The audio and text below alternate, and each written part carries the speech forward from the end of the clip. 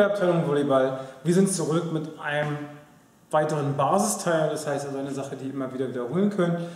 Für uns als Volleyballer ist gerade in der sportfreien Zeit ist extrem wichtig, fit zu bleiben. Wir als Volleyballer wissen, welche Muskelgruppen wir besonders brauchen für unseren Sport. Das ist der Schulterbereich und der gesamte Chor, also Hüfte, Bauch und Rücken. Hier ähm, wollen wir euch jetzt eine Auswahl an Übungen vorstellen. Es gibt eine Million Übungen dazu. Wir haben uns einfach jetzt auf ein paar Übungen beschränkt, die wir euch zeigen wollen, die ihr zu Hause nachmachen könnt. Es ist hier wirklich für uns das Wichtigste, dass ihr das macht. Ja? Und ähm, je nachdem, wie, wie oft ihr das macht, wäre für uns gut, wenn man eine Steigerung sieht. Das heißt, dieses Blatt könnt ihr euch wirklich mehrfach ausdrucken und zeigen, in der ersten Woche habe ich meinetwegen so viele Wiederholungen geschafft, in der zweiten schon jeweils eine, zwei oder so manchmal sogar fünf mehr. So, wir starten mit unseren Übungen. Die erste, die erste Übung ist der sogenannte Burpee, das heißt Liegestützposition, aber runtergehen, Sprung mit den Füßen ran, einmal nach oben. Wichtig ist hierbei wirklich, dass ihr gerade bleibt und dass ihr nicht die Knie auf den Boden ja, um schnell nach oben zu kommen. Gut, das ist die erste Übung. Jetzt kommen wir zum weiteren Klassiker, und zwar der sogenannte Unterarmstütz oder Neudeutsch Plank.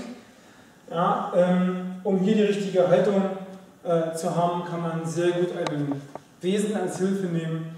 Und zwar haben wir diesen Besenstiel und den legen wir einfach auf den Übenden rauf. Ja, und es muss Po, Schulter und Hinterkopf müssen den Besenstiel berühren. Habt ihr das geschafft? Habt ihr die perfekte Position? Sollte es für euch zu anstrengend sein oder ihr es nicht ganz so lange halten können, dann lieber den Po ein bisschen hochnehmen, ja, als durchzuhängen. Ja, auch hier sind wieder Zeiten angegeben, ja, die ihr äh, schaffen solltet. Und wie gesagt, je mehr Zeit ihr vielleicht schafft im Laufe der Wochen, umso besser ist das Ganze. Gut. Nächste Aufgabe ist dann etwas für den Rücken, also für den hinteren Bereich.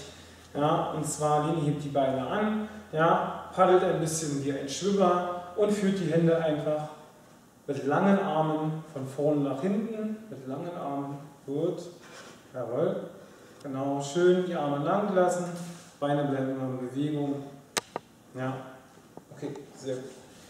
So, dann haben wir nächste Übung, sogenannte Klappmesser-Variante mit einem diagonalen Hand-Fuß-Kontakt. Das heißt, wir stellen ein Bein an. Ja, auf der Seite, wo das Bein angestellt ist, ist der Arm lang. Ja, und jetzt probiert Dinge sich hochzudrücken und Fingerspitzen, Fußspitzen Kontakt herzustellen, dabei die Hüfte entsprechend anheben. Ja, wir zeigen nochmal hier für den Stützarm, das heißt der Arm ist in der Hüfte ja, und drückt euch wirklich nach oben hoch. Ja, hier wie gesagt, ist eine sehr anstrengende Übung. Heute erstmal mit einer geringen Wiederholungszahl anfangen und dann steigern.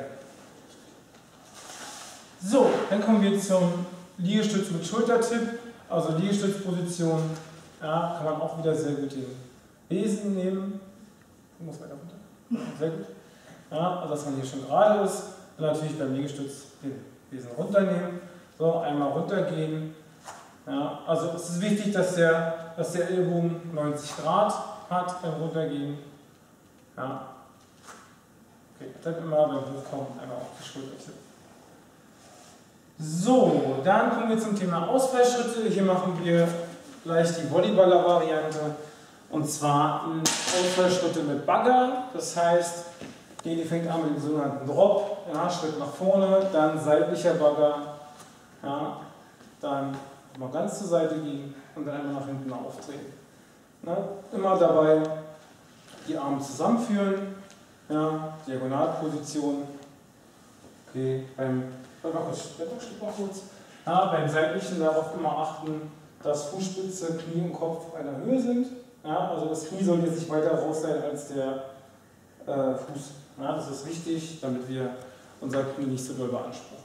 Ja, wie gesagt, diese drei Schritte kann man auch ohne Ballerbewegung machen, aber für uns als Volleyballer ist gleich immer eine gute Geschichte ja, zu lernen, die Hände in Position zu bringen. Gut, und die letzte Aufgabe für uns sind jetzt, ist der sogenannte Seitstütz. So, hier haben wir verschiedene Varianten. Erstmal ganz wichtig, schnell in die Position kommen. Das heißt, legt euch einmal wirklich komplett gerade auf den Boden. Ja, nimmt dann den Ellbogen des unteren Armes genau unter die Schulter und geht gerade hoch, sodass ihr sofort in der Position seid. Ja? Gut, jetzt führt ihr quasi die Hand, die oben ist, nach oben und einmal unter der Schulter durch. So, das ist die klassische Variante. Jetzt machen wir die Variante, die etwas leichter ist, und zwar das, der obere Fuß geht neben den unteren Fuß. Ja, so ist es ein bisschen leichter. Ja, auch hier nochmal, die Arme machen das gleiche. Und für unsere Fortgeschrittenen, die freut sich schon, äh, gibt es auch noch dort die Variante, den Fuß hochzunehmen ja, und dann das Ganze zu machen. Wichtig ist noch, dass der Blick immer den Arm, die Hand verfolgt. Also guckt immer die Hand an, ja, immer Blick auf die Hand, richtig reindrehen. So. So, das waren jetzt quasi unsere Stabilisationsübungen.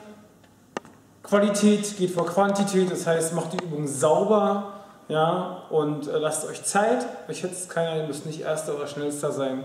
Ja, dreimal die Woche, wie gesagt. Und für uns wäre es wahnsinnig toll zu sehen, dass ihr im Laufe der Woche vielleicht Fortschritte macht, mehr Wiederholungen schafft, Übungen länger haltet.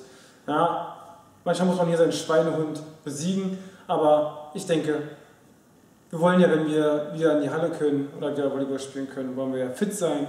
Ja, und deswegen, wie gesagt, nutzen wir diese Übungsform. Viel Spaß euch, wir freuen uns. Bis zum nächsten Mal.